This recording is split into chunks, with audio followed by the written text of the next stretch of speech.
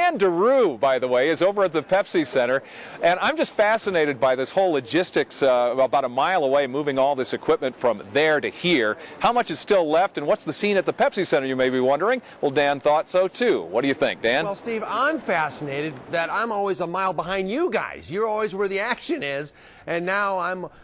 Well, Steve, it's a lot like a summer romance, isn't it? The DNC convention. It's it's exciting. It's hot. It's a lot of actions going on.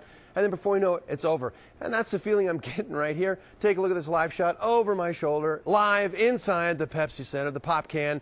Uh, it still kind of looks like a convention, but the convention is over. It's done. Security is down to, well, nothing. Yesterday, just coming to the Pepsi Center, I had to fork over my apple. I'm not talking about my computer, I'm talking about my piece of fruit. I was not allowed to bring an apple into the Pepsi Center. And today, I brought my surface to air missile. Go figure. But anyway, it's a done deal, and it's just, it, it, you know, you ever have a party at your parents' house and you invite everybody and their brother, and, and then it's a lot of fun, and then everybody leaves, and then the next morning you wake up, you look around, and you think, wow, what a mess.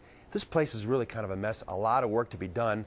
And again, Steve, maybe one of these days I'll be able to catch up with you and we can share the same microphone. And do you have any idea what the next, the very next event is at the Pepsi Center? I don't think anybody can tell us at this point. We were asking that question here. What's the next thing they've got to do after they remove all that stuff out of there? The next event is cleaning all the toilets, and that's happening in about the next couple hours.